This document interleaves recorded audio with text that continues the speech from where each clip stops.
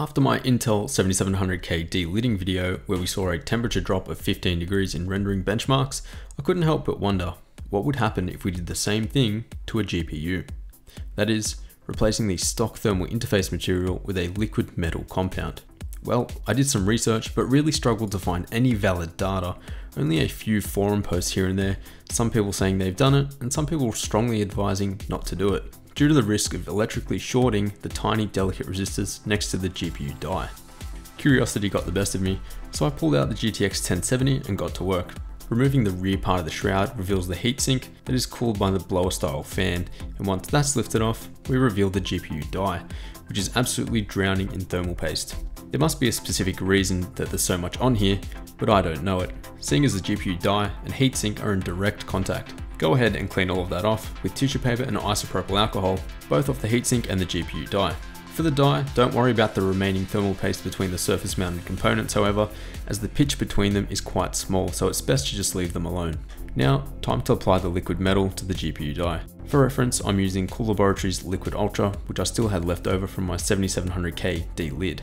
Seeing as the die and the heatsink are in direct contact, I made sure to apply an extremely thin layer, as I didn't want it being smooshed out to the edges and touching those resistors. Liquid metal is conductive, so be extra careful when applying it. Once it's applied and spread out, reinstall the heatsink, all of the screws, and your GPU is back together again. So, was there any difference? In Unigine Heaven, I measured temperature and fan speed, both before and after replacing the thermal compound. Note that the fan profile was set at stock for all tests. With the stock thermal compound, the GTX 1070 Founders Edition hovered around 84 degrees Celsius, with the fan speed stable at 60%.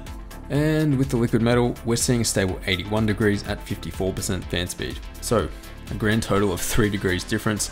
And if you're running the stock fan profile, you'll see a 5% difference in fan speed, or around 400 RPM, which was not noticeable at all. I also tried equating the fan speed of the initial test of 60%, but it seriously made no difference at all to the temperature. As for overclock results, we see a similar story as you'd expect, 2 degrees cooler with a 5% reduction in fan speed. So there you have it. I'd definitely say that this is not worth doing, and I highly recommend you leave whatever thermal compound the manufacturer has put in there. In pretty much all cases, removing the cooler from your GPU and exposing the GPU die will void your warranty, and even if it didn't, it's still not worth doing. So let me know what you guys think. If anyone did the same mod and got better results, then be sure to drop that down in the comments. Don't forget to subscribe for similar content in the future, and I'll see you in the next one.